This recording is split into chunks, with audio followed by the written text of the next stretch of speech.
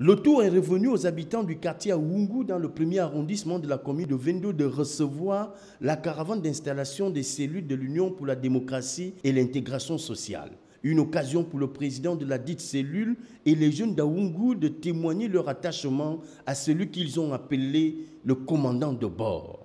Monsieur le Président, au nom des populations d'Aoungu, nous vous réaffirmons notre reconnaissance et engagement à ne pas faillir à notre tâche pour porter haut et défendre notre formation politique qui est l'UDIS.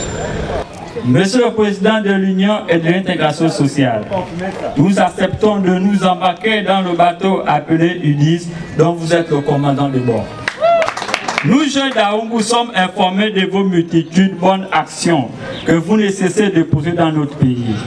Nous voulons bien suivre votre exemple, car nous sommes convaincus qu'avec les projets communautaires, nous pouvons combler nos nombreux déficits.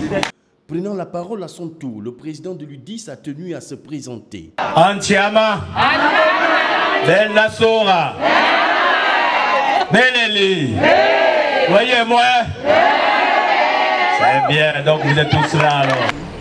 La moindre de choses voudrait que l'on se présente, que l'on sache avec qui l'on veut cheminer.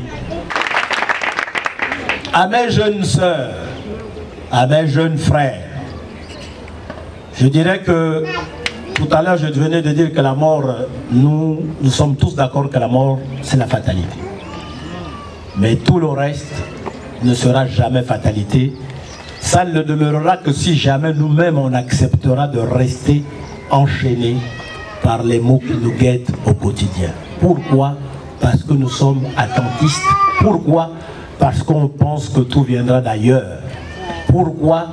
Ben Parce qu'on pense que nous sommes soumis ou assujettis à ce que l'on tende en permanence la main.